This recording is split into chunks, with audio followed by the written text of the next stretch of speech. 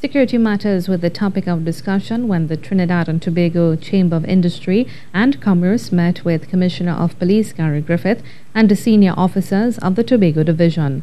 On Tuesday, Chairman of the Tobago Division of the TTCIC, Diane Hadad, and other members of the Chamber raised issues relating to police customer service on the island.